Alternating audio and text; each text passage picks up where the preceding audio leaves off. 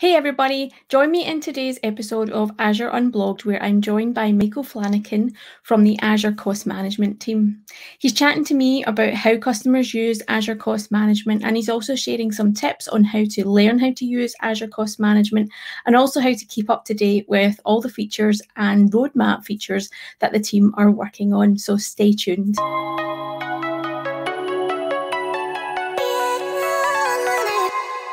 Hey everybody, and welcome to today's Azure Unblogged episode with myself, Sarah. I'm joined by Michael, who is a program manager with Azure Cost Management. Michael, welcome to the show. Thanks, Sarah. I'm glad to be here. Awesome. Um, now, when customers were a few years ago looking to migrate to the cloud, they often got caught out with having to deal with cost management. Um, are we starting to see that trend change a little? Are customers more aware of the cost management piece that they now need to build into their strategy? Yeah, we, we really see the full spectrum. Um, you know, when I first joined the team, I was really surprised at how many large enterprises were struggling with that transition from on-prem to the cloud, especially around cost management. Um, uh, you know, even those that had been using the cloud for years were still uh, struggling to find their footing.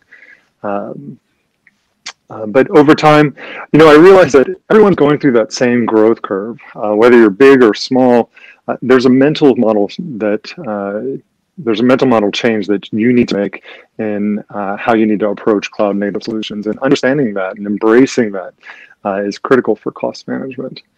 You know, but We've definitely seen some major strides over the past few years. Uh, it's uh, it's honestly been a little bit humbling uh, to see how the community has grown and to have deeper, more engaged conversations about taking cost management to the next level with organizations of all sizes. So, so you know, absolutely, there's definitely been some uh, some movement there, and, and that's definitely great to see. So, with the product Azure Cost Management, I've definitely seen growth over the last few years, um, how to implement it and use it myself for my own Azure subscriptions. Why do you think customers are embracing uh, our product, Azure Cost Management? What are the real benefits for them that we're seeing? Yeah, you know, at its core, uh, the main benefit that you get out of Azure Cost Management is optimizing what you spend. Uh, you know, whether you start by seeking to understand how you're being charged or you want to establish limits around uh, what can be spent, the ultimate goal most people are looking for is really to just reduce those costs. You know, and and there are a number of ways that you can achieve this. Um, you know, I always tell people that uh, you need to start by understanding how the services you're using are billed, uh, because knowing how you'll be charged is the first step to reducing those charges. Uh, and the best place to do this is the Azure Pricing Calculator, which gives you a great breakdown of costs for every Azure service. Uh, and you can also use cost analysis in the Azure portal to see kind of a similar breakdown of your uh, resource usage uh, for the resources you're already using. Um, and then, you know, once uh, once you have a good understanding of what you're spending, uh, you want to enforce some limits to stay within your financial constraints, whatever those may be.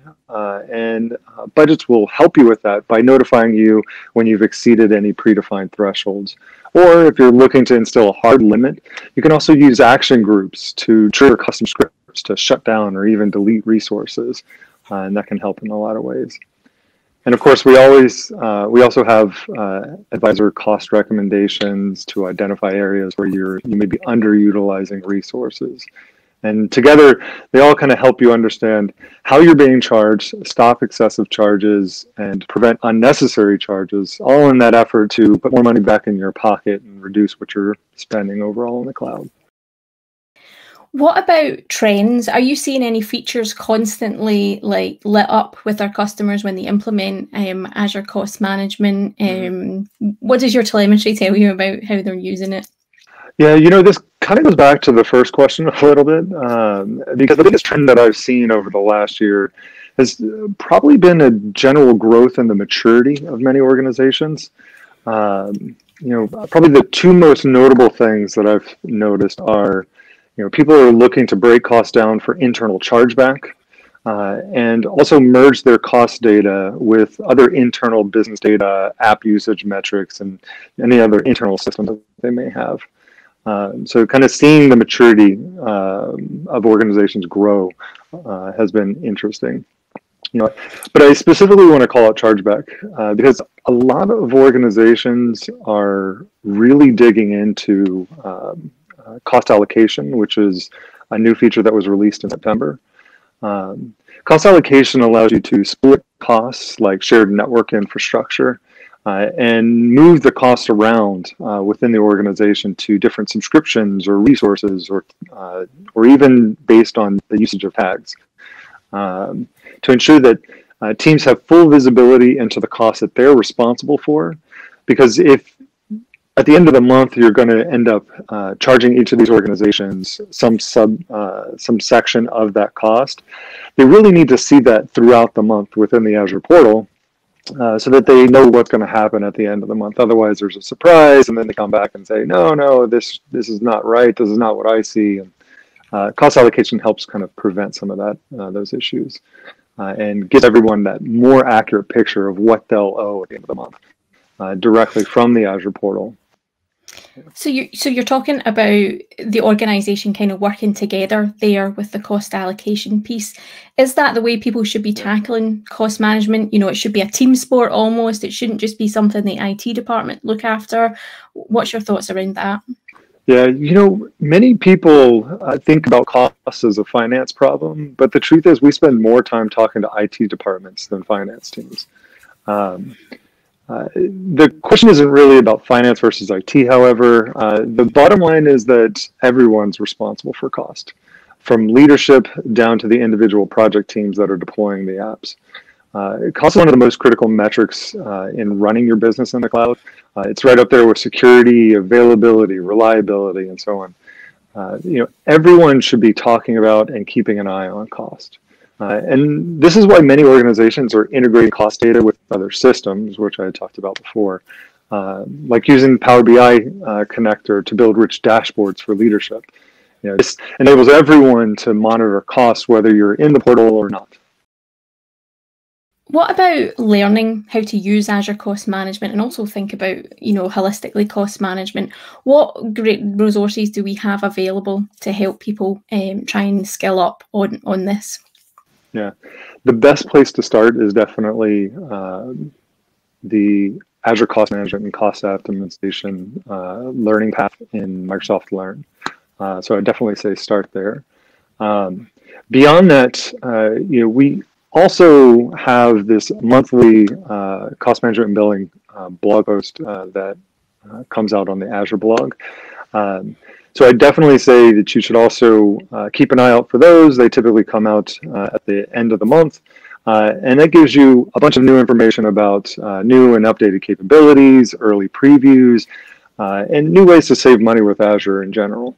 there's really something for everyone. So that's that's also something that that I'd keep an eye out for.